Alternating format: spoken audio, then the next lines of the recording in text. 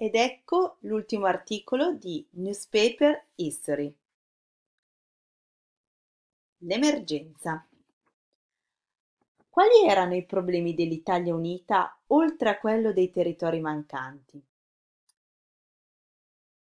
La maggior parte della gente viveva in una condizione di assoluta miseria.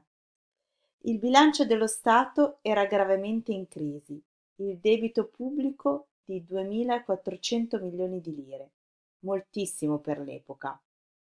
Il governo di destra, con il ministro delle finanze Quintino Sella, iniziò una politica del sacrificio, aumentando le tasse, in particolare quella sul macinato, che colpiva soprattutto i più poveri. Nonostante le numerose rivolte e proteste, il governo non cedette e nel 1875, con molte privazioni per il popolo, riuscì a pareggiare il bilancio. L'Italia, poi, era sempre stata divisa in stati molto diversi tra loro, persino nel modo di parlare. L'italiano era quasi una lingua straniera. Anche Cavour parlava e scriveva in francese e Vittorio Emanuele in dialetto.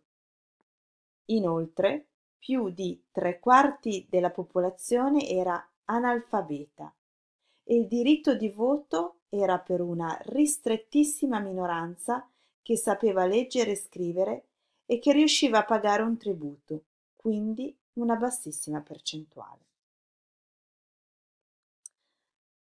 La questione romana, invece, è il problema che riguarda l'annessione di Roma e lo Stato Pontificio all'Italia.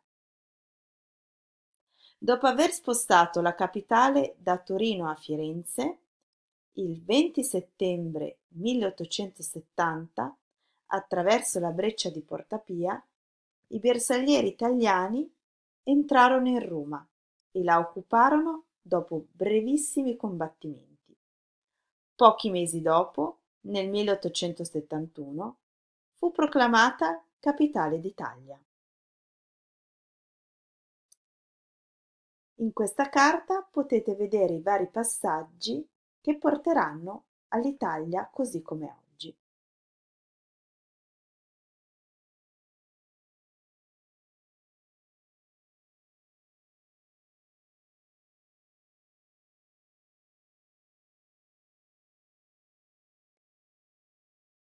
Pochi mesi dopo, nel 1871, fu, venne anche votata una legge che regolava i rapporti tra Stato e Chiesa, detta delle Quarentigie.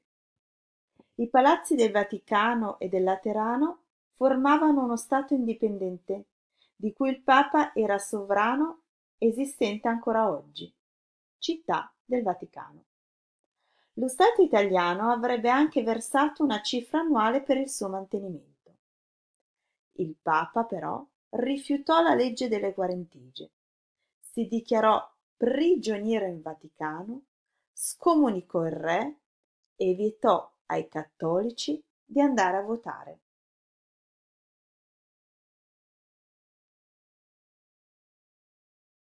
La questione meridionale cioè il problema rappresentato dall'arretratezza del meridione d'Italia, aveva molte cause: la scarsa fertilità dei territori del sud, l'assenza di borghesia che avviasse l'industria e l'agricoltura basata sul latifondismo.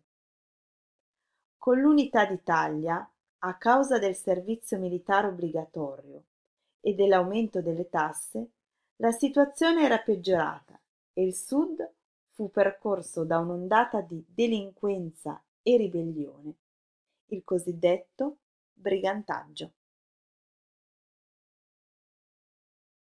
Per oggi è tutto.